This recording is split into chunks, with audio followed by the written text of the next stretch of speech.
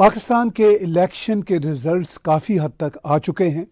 जो हम कनाडा में बैठ के तो करते थे कि एक हंग पार्लियामेंट बनेगी इसलिए कि पाकिस्तान पॉलिटिकली एक पोलराइज सोसाइटी है और जो रिजल्ट्स आए हैं आ, मैं यहाँ पे अगर कनाडा में बैठ के उनको ऑब्ज़र्व करता हूँ तो मुझे वो काफ़ी हद तक ठीक लगते हैं। सबको कुछ ना कुछ मिला है। और सिचुएशन ग्राउंड पे क्या है? हमारे साथ हमारी साथी जर्नलिस्ट जो आपकी बहुत ही जानी पहचानी शख्सियत हैं जो मामला को बहुत डेप्थ से जानती हैं आरज़ू काजमी साहिबा इस्लामाबाद से जुड़ी हुई हैं।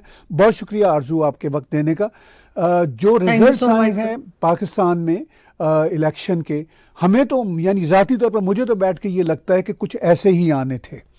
बिकॉज़ जिस तरह की सोसाइटी पोलराइज है हर एक का वोट बैंक है और इमरान खान की पार्टी को पाकिस्तान की स्टेट ने पहले ही काफ़ी डिसेबल्ड सा किया हुआ है ताकि वो अगर जीत भी जाएँ तो उनके भी जीते हैं लोग आज़ाद उम्मीदवार।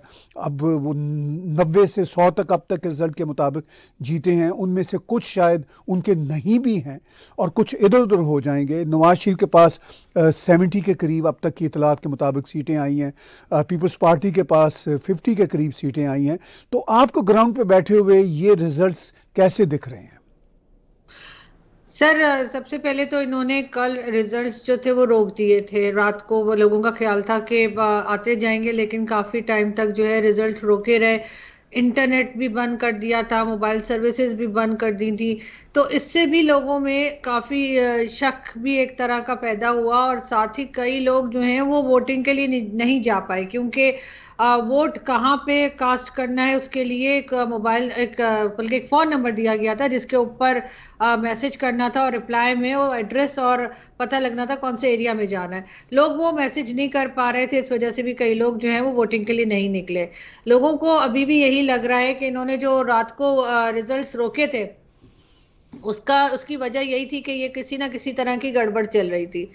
उसके साथ साथ आज प्रेस कॉन्फ्रेंस की गई है मिनिस्टर्स की तरफ़ से। उन्होंने कहा कि जी, हमने मोबाइल सर्विसेज़ और सब कुछ इसलिए बंद किया था क्योंकि सिक्योरिटी रीजंस की वजह से उस पर लोगों को कोई खास भरोसा नहीं है।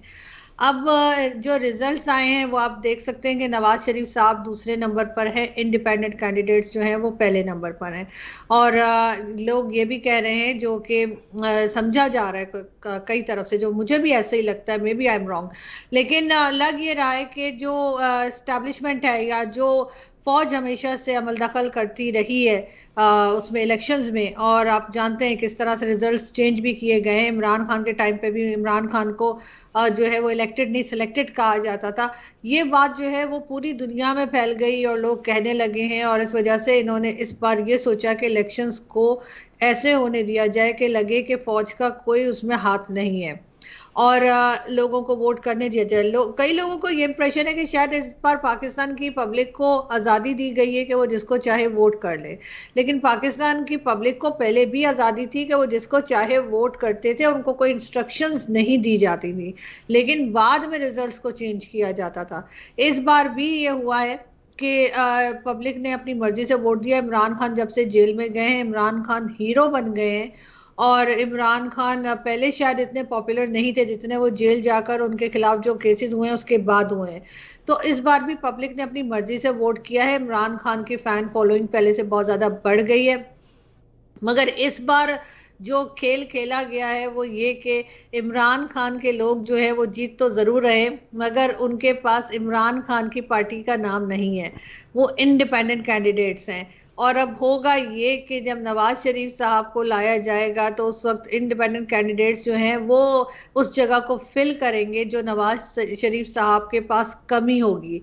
जैसे कुछ सीट्स अगर कम हुई उनको हुकूमत बनाने में तो फिर वो इंडिपेंडेंट कैंडिडेट्स जैसे पहले आपको याद होगा जहांगीर तरीन खान साहब लाया करते थे इमरान खान के लिए, अब इसी तरीके से उन इंडिपेंडेंट कैंडिडेट्स को लेकर नवाज़ शरीफ साहब की गवर्नमेंट बना दी जाएगी। उसके बाद ये भी सुनने में आ रहा है कि कोई एक डेढ़ दो साल नवाज़ शरीफ साहब की गवर्नमेंट जो है वो चलाई जाएगी और फिर नवाज़ शरीफ साहब को हटाकर एक बार फिर इमरान खान ड्राई क्लीन होकर आ जाएँगे जैसे इस वक्त नवाज़ शरीफ साहब ड्राई क्लीन होकर आए हैं। और इनकी जो आ, पार्टी है इमरान खान की वो इस वक्त ज़ाहिर है पॉपुलर हो चुकी है और आगे जब कोई भी गवर्नमेंट आती है पब्लिक को उससे नाराज़गी तो हो ही जाती है तो वो भी हो जाएगी। नवाज़ शरीफ साहब से तो इमरान खान मजीद पॉपुलर हो जाएँगे और जब दोबारा लाए जाएँगे तो एक बहुत बड़ी मेजोरिटी मेजोरिटी जो है उनको वोट करेगी और उनको लेकर आएगी। अगर ना हटाया जाता इमरान खान को तो जो उनकी परफॉर्मेंस थी, उसकी वजह से शायद पब्लिक उनसे नाराज़ होती, उनको खुद ही उठा के बाहर रख देती। लेकिन उनको बचाने के लिए ही लगता है कि उनके साथ जो कुछ किया गया, उनको हटाया गया, फिर जेल की गई, ताकि इमरान खान को एक बार फिर हीरो बनाया जा सके। तो अभी सर यहाँ पर यही बात चल रही है और देखते हैं कि कहाँ तक ये बात सही रहती है। देखिए इमरान खान प्रोजेक्ट के बारे में आ, कहा जाता था कि ये दस साल प्रोजेक्ट है। फिर जब इमरान खान की सरकार गिरी तो लगा कि इस प्रोजेक्ट को वाइंड अप किया जाएगा और अब तक इलेक्शन से चंद रोज़ पहले तक जिस तरह उनके ख़िलाफ़ मुकदमा चले तो यही लगता था कि जैसे इस प्रोजेक्ट को वाइंड अप किया जा रहा है। लेकिन जो आप कह रही हैं और मैं भी उससे किसी हद तक इतफाक़ करता हूँ कि ये प्रोजेक्ट अभी भी ऑन है और ये चल रहा है इसकी कई शक्लें हैं क्या इसका ये एक फैक्टर भी है कि जब इस्टेब्लिशमेंट देखती है या पाकिस्तान आर्मी उसको कहना चाहिए कि भाई ये हम्म। जो मोहरे हैं ये अब इस प्लानिंग के मुताबिक नहीं चल रहे तो अब इनका मोहरों की चाल ये हो गई है तो वो फिर खेल को उसी जगह से उठा लेते हैं और कहते हैं, कोई मसला नहीं, हमें तो कोई मसला नहीं है। अगर ये शख्स काबिल कबूल था, फिर नहीं काबिल कबूल था, अब फिर उसको काबिल कबूल कर लेंगे। तो ये खेल तो पाकिस्तान में काफ़ी अरसे से चला आ रहा है। तो इसी खेल के कॉन्टेक्स में आपको लगता है कि इमरान खान को फिर से पॉलिश किया जाएगा? सर बिल्कुल ऐसे ही लग रहा है कि इमरान खान को पॉलिश करने के लिए ही इमरान खान को हटाया गया क्योंकि इमरान खान की हालत बहुत ख़राब थी उनकी गवर्नमेंट की हालत बहुत ख़राब थी कुछ वो कर नहीं पा रहे थे और जैसा मैंने कहा कि ना हटाया जाता तो पब्लिक खुद ही हटा देती।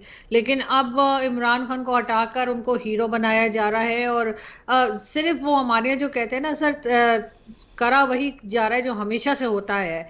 यानी कि इस्टेब्लिशमेंट ही जो है वो गवर्नमेंट बना रही है और इस्टेब्लिशमेंट ही गवर्नमेंट हटाएगी भी, लेकिन तरीका वारदात सिर्फ़ अलग कर लिया इन्होंने। इन्होंने सिर्फ़ ये किया है कि इस वक्त पूरे में इन्होंने मशहूर कर दिया और हर तरफ़ ये बात चली गई है कि जी इतना फ्री और फेयर इलेक्शन जो है पाकिस्तान में हुआ है। एक एग्ज़ाम्पल सेट कर दी कि जी इमरान खान चाहे जेल में है, इमरान खान के साथियों को या इंडिपेंडेंट कैंडिडेट्स को जो है बहुत वोट्स मिले हैं और कोई किसी ने ना रोका, ना टोका। और अगर ये वाकई में फेयर इलेक्शंस कराना चाहते थे और ये वाकई इस चीज़ में इन्वॉल्व नहीं है तो इमरान खान के लोगों को पीटीआई के नाम के साथ ही इलेक्शन लड़ने दिया जाता। तब हम मानते हैं कि जी पीटीआई जीती है और पीटीआई आई है। इस वक्त तो सब इंडिपेंडेंट कैंडिडेट्स हैं। आ, उनके साथ किसी पार्टी का नाम नहीं लगा हुआ वो कहीं भी जा सकते हैं वो जहाँ जाना चाहे जा सकते हैं इस चीज़ से कौन रोकेगा? तो ये चीज़ जो है ये आहिस्ता आहिस्ता करके सामने आएगी खुल जाएगी और आप देखिएगा कि इंडिपेंडेंट कैंडिडेट्स यानी इमरान खान के लोग जो हैं वो इलेक्शन में ज़्यादा सीट्स लेकर आए हैं लेकिन हुकूमत बनेगी नवाज़ शरीफ साहब की। अब ये भी अजीब सी बात है ये भी अजीब ही रॉकेट साइंस है कि जीता कोई और है और हुकूमत कोई और बनाएगा। देखिए, यही मैनूवरिंग थी कि पाकिस्तान आर्मी यही चाहती थी, इनको बैट का निशान ना देकर। और इनको भी मुल्लक रख के हवा में ये हंग हैं। सिर्फ़ पार्लियामेंट ही हंग नहीं तहरीक इंसाफ के सारे आज़ाद उम्मीदवार जो थे और जो अब उनमें जीते हैं वो सब भी हंग हैं और बोलियाँ लगेंगी इसमें कोई शक वाली बात नहीं। ये उनकी मैनूवरिंग है ये उनकी मैनेजमेंट है कि इलेक्शन में भी आ, कोई धांधली ज़्यादा ना की जाए और चीज़ें भी कंट्रोल में रहें। चलिए अब आते हैं नवाज़ शरीफ की सॉर्ट ऑफ़ विक्ट्री स्पीच जो उन्होंने की है, जो शायद वो कल करना चाह रहे थे, मगर रिजल्ट्स लेट हुए। तो अब जो भी सिचुएशन बनी है तो बड़ी बैलेंस ही तकरीर की है नवाज़ शरीफ ने। और उन्होंने आज़ाद उम्मीदवारों को, तहरीक इंसाफ को, पीपल्स पार्टी को, सारे स्टेक होल्डर्स को कहा है कि पाकिस्तान के मसाइल हल करने के लिए आइए हम इकट्ठे बैठें।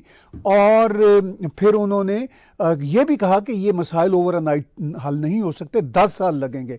तो इस मैसेज को पाकिस्तान में, इस्लामाबाद में कैसे लिया जा रहा है? और आप इसको कैसे देखती हैं?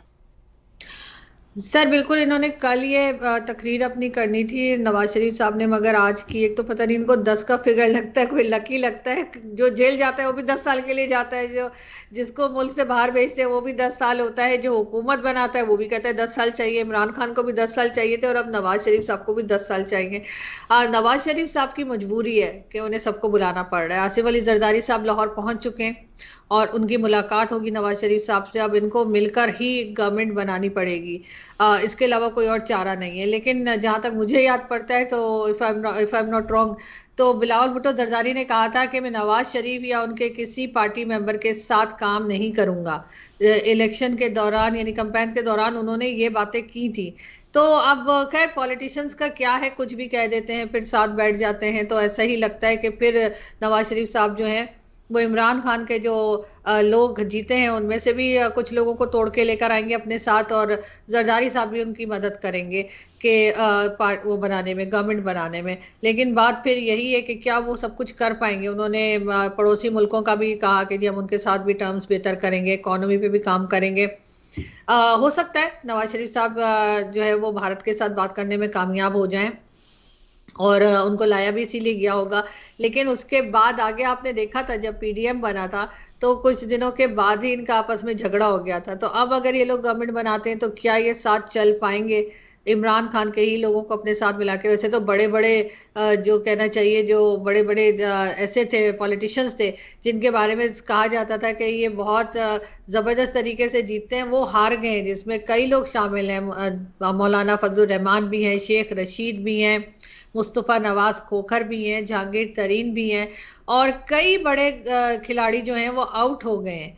अब क्या नई चीज़ लेके नवाज़ शरीफ साहब आएँगे या किस तरह से इन चैलेंजेस को देखेंगे आ, वो भी एक एक तरफ़ काफ़ी लोग बात कर रहे हैं। मगर फिर भी गवर्नमेंट बहुत देर तक चलती हुई दिखाई नहीं दे रही। चाहे जो मर्ज़ी ये कर लें साथ बना लें पीपल्स पार्टी के या किसी के भी लेकिन लग यही रहा है कि डेढ़ से दो साल लोग बल्कि टाइम भी दे रहे हैं। डेढ़ से दो साल के दरमियान ही लग रहा है कि इनकी इनकी भी जो है वो हुकूमत चली जाएगी। जी, आपने कहा कि डेढ़ से दो साल के अंदर इनकी हुकूमत के चले जाने का इम्कान है और ये बहुत नेचुरल है। जब इतनी वीक माइनॉरिटी गवर्नमेंट हो, वो दुनिया में कहीं भी बने, हमारे कनाडा में माइनॉरिटी गवर्नमेंट बनती है तो वो डेढ़ दो साल चल सके तो बड़ी बात होती है। मैं इसको कोई बुराई नहीं समझता क्योंकि जब इतनी वीक माइनॉरिटी गवर्नमेंट होगी तो ऑफ़ कोर्स वो फिर मैंडेट को दोबारा आवाम रीचेक करेंगे और दोबारा बैलेट के इम्कान होंगे। बैलेट नहीं होगा पाकिस्तान में तो मैनूवरिंग हो जाएगी। लेकिन जितना अरसा भी ये चल सके एक साल, डेढ़ साल ये मिल के और पॉलिटिकल पार्टीज़ एक दूसरे के साथ दोस्तियाँ भी करती हैं और लड़ भी पड़ती हैं, ये भी बहुत नेचुरल है। जितना अरसा ये चल सके ये पाकिस्तान के मसाइल को थोड़ा बहुत आ, हल करने में कामयाब हो पाएँगे या कम अज़ कम पाकिस्तान को किसी डायरेक्शन पे डालने में कामयाब हो सकेंगे? सर अगर ये कोशिश करें तो ये कर सकते हैं लेकिन उसके लिए इनकी कोशिश करना ज़रूरी होगा। वैसे तो अभी भी स्टॉक एक्सचेंज क्रैश कर गई है लेकिन ये कि अगर ये इसके ऊपर सिंसियरली काम करें और इस बार वो खाना पीना ना करें अपना जो यूजुअली हमारे पॉलिटिशियंस करते हैं और साथ साथ वो लोग भी जो इनको लाते हैं, वो भी अगर सिर्फ़ अभी ये सोचें कि पाकिस्तान को बचाना है, पाकिस्तान को बेहतर करना है तो करने के लिए कर सकते हैं, लेकिन उसके लिए इनका इरादा होना चाहिए, इनकी कोशिश होनी चाहिए। अगर ये सिर्फ़ टाइम पास के लिए आए कि ठीक है, मैं तो थोड़े दिन जो है वो प्राइम मिनिस्टर बन के सारी दुनिया का चक्कर लगा लूँ, जो काकड़ साहब ने किया था तो फिर तो ज़ाहिर कुछ नहीं हो पाएगा। इमरान खान भी प्राइम मिनिस्टर बने थे, लेकिन कोई काम नहीं किया था बस इधर उधर घूमते रहते थे। तो इसलिए हमारे पास अनफॉर्चुनेटली हमारे पास ऐसे लीडर्स नहीं है, जैसे भारत के पास हैं। चाहे वो उनके प्राइम मिनिस्टर मोदी हो, बेशक हमारे साथ उनकी ना बनती हो, पाकिस्तान को वो बहुत सख्त किस्म के जवाब देते हैं, बहुत सख्त किस्म की पॉलिसीज़ हैं उनकी, बहुत स्ट्रिक्ट पॉलिसीज़ हैं पाकिस्तान के लिए, लेकिन अपनी कंट्री के लिए वो बहुत अच्छे हैं। अपनी कंट्री में उन्होंने बहुत प्रोग्रेस की है, अपनी कंट्री में उन्होंने बहुत इकोनॉमी और हर चीज़ बेहतर की है, और ऐसे ही उनके फॉरेन मिनिस्टर भी हैं। अकेले प्राइम मिनिस्टर से कुछ नहीं होता, जो मोदी जी की टीम है पूरी, वो बहुत शानदार है, और मेरा ख्याल है कि इसमें कोई हरज नहीं है कि अगर अपने से बेहतर या अपने से बड़ी कंट्री से कुछ सीख लिया जाए। और ये चीज़ अगर नवाज़ शरीफ साहब लोगों के दिमाग से निकाल सके, थोड़ी बहुत कि भारत हमारा दुश्मन है, ये बात अगर छोड़ दी जाए और इसके बजाय ये देखा जाए कि भारत हो, चाहे बांग्लादेश हो, या इवन चाइना हो, इस तरह की जो नेबरिंग कंट्रीज़ है, वो हमसे बेहतर है इकोनॉमी वाइज और कई तरीके से तो हम उनसे सीख कर अपने आप को बेहतर बनाए। थोड़ा सा पॉजिटिव सोचना पड़ेगा इन लोगों को, वैसे बड़ा मुश्किल काम है इनके लिए, लेकिन कोशिश की जा सकती है। जी, आपने कहा कोशिश की जा सकती है। और भारत का आपने ज़िक्र किया और नवाज़ शरीफ ने भी अपनी तकरीर में इशारा दिया। जब हमसायों की बात होती है जब पाकिस्तान के लीडर हमसायों की बात करते हैं तो उसमें ऑफ़ कोर्स अगर नाम ना भी लें तो भारत नंबर वन होता है। इसलिए सबसे बड़ा बॉर्डर भी भारत के साथ है और सबसे ज़्यादा कॉम्प्लेक्स रिश्ते नाते भी भारत के साथ हैं। तो आ, ये भी कहा जा रहा था कि नवाज़ शरीफ को अगर माइनॉरिटी की सूरत में मेजॉरिटी की सूरत में पावर में लाया जाए आ, जैसा कि अब लाया जा रहा है अपेरेंटली तो उसमें एक बड़ा एजेंडा ये है कि भारत के साथ नवाज़ शरीफ तल्लक को ठीक कर सकते हैं। भारत को पाकिस्तान की कोई अब परवाह नहीं रही। ना पाकिस्तान का कोई इंतज़ार है। भारत को तो सिर्फ़ ये देखना है कि क्या पाकिस्तान की तरफ़ से कोई अक्ल की बात होती है रीज़नेबल बात होती है तो वो नवाज़ शरीफ से एक्सपेक्ट की जाती है। आज उन्होंने अपनी स्पीच में इशारा भी दे दिया। तो आपको लगता है कि जितना भी उनका इकतदार का अब ये दौर होगा, साल, सवा साल, डेढ़, दो साल वट एवर इसमें वो कामयाब हो पाएँगे मिलिट्री उनको ग्रीन लाइट दे देगी। कि चलिए आप कुछ ना कुछ चीज़ें मेंड करें। सर, इस वक्त भी नवाज़ शरीफ साहब जो स्टेटमेंट दे रहे हैं, वो यकीनन डिक्टेशन लेकर ही दे रहे हैं, अपनी तरफ़ से नहीं कह रहे होंगे। यहाँ पे कोई दे नहीं सकता, खासतौर पे पॉलिटिशियंस तो यकीनन मिलिट्री ने उनको कहा होगा, इसीलिए वो इस किस्म की बातें कर रहे हैं, वरना तो वो भारत का नाम भी ना लेते। अदरवाइज़ आपको पता है कि जो भी प्राइम मिनिस्टर आता है, वो आते के साथ ही सबसे पहले कश्मीर कश्मीर करता है, लेकिन नवाज़ शरीफ साहब ने नहीं किया है। और इससे यही लग रहा है कि मिलिट्री या स्टैब्लिशमेंट जिसमें के ज़ाहिर है कि जजेस भी शामिल हैं और एजेंसीज भी शामिल हैं, वो इस वक्त भारत के साथ टर्म्स को बेहतर करना चाहते हैं अफोर्ड भी नहीं कर सकते कि लड़ाई झगड़ा, जैसा कि आप जानते हैं कि अफगान बॉर्डर पर ऑलरेडी काफ़ी टेंशन है। तो शायद इस वजह से नवाज़ शरीफ साहब ने ये बात की है। और चाहे वजह कुछ भी रही हो लेकिन अगर ये अच्छी बात करते हैं अगर ये पॉजिटिव बात करते हैं तो मेरा ख्याल है उसको अप्रिशिएट करना चाहिए और आ, इनको भी कोशिश करनी चाहिए कि वो उस चीज़ को पॉजिटिवली लेकर चलें और आ, जो आ, भी कंट्री है चाहे भारत हो या कोई दूसरी कंट्री जो हमारे साथ जिसके बॉर्डर लगते हैं चाहे वो ईरान ही क्यों ना उसके साथ इनके टर्म्स बेहतर हों। आखिर में दो एक बातें क्विकली आपसे जानना चाहूँगा। पाकिस्तान में उतनी आवाज़ नहीं उठ रही रेगिंग के हवाले से जितनी पहले उठा करती थी। मतलब कुछ लोग कह रहे हैं और मुझे लगता है कि जैसे कॉस्मेटिक लेवल पे है इवन जरदारी साहब के, साहबजादे बिलावल ने भी कह दिया, उनकी पार्टी ने भी कह दिया, आज़ाद उम्मीदवार भी कह रहे हैं, तरीके इंसाफ वाले भी कह रहे हैं। लेकिन लगता नहीं कि कोई पॉलिटिकल पार्टी कुछ ज़्यादा परसू करेगी। प्रोटेस्ट एक आध हुआ, उसको दबा दिया गया। कुछ प्रोटेस्ट की कॉल्स सामने आई हैं, वो भी कोई ख़ास नहीं है। तो ग्राउंड पे क्या आपको कोई रिएक्शन नज़र आता है कि इन इलेक्शन रिजल्ट्स पे कोई आ, शोर आ, मचेगा या प्रोटेस्ट होंगे? नहीं सर मुझे नहीं लगता कि कुछ खास कुछ होगा। इसलिए कि दो चार आवाज़ें ज़रूर उठी हैं। उसमें मुस्तफ़ा नवाज़ खोखर साहब ने भी कहा है कि इस किस्म की रैगिंग हुई है और इस तरह की धांधली हुई है लेकिन ये कि ज़्यादा नहीं है। ज़्यादा लोग इस बारे में बात नहीं कर रहे थोड़ा बहुत पीटीआई वाले भी मन शोर मचा रहे हैं वो कह रहे हैं कि कुछ लोग उनके जो है उन, उनके बारे में वो कह रहे हैं कि उनके साथ जो है वो इलेक्शन के रिज़ल्ट जो है वो सही नहीं है। लेकिन बहुत ज़्यादा लोग नहीं है ज़्यादातर लोग तो तारीफें ही करते दिखाई दे रहे हैं कि जी फौज कहीं दिखाई नहीं दे रही थी और इमरान खान को जीतने दिया हालाँकि वो खराब ही सकते थे और कई तरह की बातें हो रही हैं। तो इस दफ़ा जो उन्होंने अपना स्टाइल चेंज किया एस्टेब्लिशमेंट ने मेरा ख्याल है कि वो उनके फेवर में जा रहा है। और आगे जिस तरह से उन्होंने प्लान किया होगा कि जो इंडिपेंडेंट कैंडिडेट्स हैं उनको नवाज़ शरीफ या जिसकी भी पार्टी लाएँगे जिसकी भी गवर्नमेंट लाएँगे उसके साथ मिला देंगे तो ये पत्ते उन्होंने बिल्कुल ठीक खेले। ये और बातें कि कुछ दिनों में लोगों को आइडिया हो जाएगा और लोग फिर बात करने लगेंगे। बहुत आखिर में आ, इस पर अब कमेंट्री कीजिए। जैसी भी गवर्नमेंट बनेगी फॉर द टाइम बीइंग उसमें आपको लगता है कि तरीके इंसाफ के आज़ाद उम्मीदवार कोऑपरेट करेंगे, चाहे वो अपोजिशन में बैठें, चाहे उनमें से कुछ गवर्नमेंट का हिस्सा बने। बिल्कुल सर, मुझे लगता है कि करेंगे, उनको करना पड़ेगा। अब चाहे वो आराम से करें, चाहे उनको किसी तरीके से लालच दे के चाहे डरा धमका के, लेकिन काम करवाया जाएगा। और अभी भी देखेंगे सभी लोग जो हैं, उनको एज ए इंडिपेंडेंट कैंडिडेट उनको इलेक्शन लड़ने के लिए कहा गया और मजबूरी थी उनकी तो उन्होंने किया। लेकिन अब उनको भी पता होगा कि इमरान खान जो है, वो पॉपुलर लीडर के तौर पे, बल्कि ज़्यादा पॉपुलर लीडर के तौर पे सामने आए हैं। और हो सकता है कई लोगों को अंदाज़ा हो कि जो नेक्स्ट इलेक्शन होंगे, उसमें उनकी कामयाबी कहाँ तक हो सकती है। तो मुझे लगता है कि कोई गवर्नमेंट भी हमारे यहाँ तो पाँच साल करती नहीं है तो इसलिए मेरा ख्याल है वो लोग काम करने के लिए तैयार हो जाएँगे। बहुत आखिर में क्विकली ये भी बता दीजिए कि इमरान खान के ऊपर जो मुकदमात चले और पिछले हफ़्ते ही जो सख्त सज़ाएँ उनके हवाले से सामने आई, अब इमरान खान को कोई रिलीफ मिलेगा?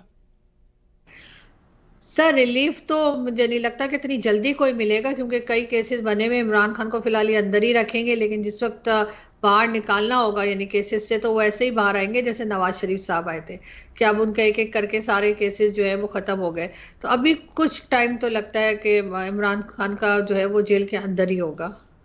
बहुत शुक्रिया, हम आपके बहुत शुक्रगुजार हैं कि आपने हमें वक्त दिया और पाकिस्तान के जो इस वक्त के हालात हैं ख़ास तौर पर इलेक्शन के बाद के और जब रिज़ल्ट्स काफ़ी हद तक सामने आ चुके हैं, उस हवाले से आपने हमें अच्छी इंसाइट दी। हम आपके बहुत शुक्रगुजार हैं, आपने हमें वक्त दिया। थैंक यू सर व्यूज़ बातचीत सुन रहे थे आप आरज़ू कासमी साहिबा की। आरज़ू काजमी साहिबा ने पाकिस्तान के जो हालात हैं उसके हवाले से बहुत इंसाइट जो तबसरा है वो हमारे साथ शेयर किया। आप इस वक्त भारत के टीवी चैनल्स पे आरज़ू काजमी की आरा सुन रहे हैं। इनके यूट्यूब चैनल को भी सब्सक्राइब कीजिए और टैग टीवी के यूट्यूब चैनल को भी सब्सक्राइब कीजिए। इसके साथ साथ आप हमारी ऐप्स एंड्रॉयड एप्पल रॉको और अमेज़ॉन पे डाउनलोड कर सकते हैं।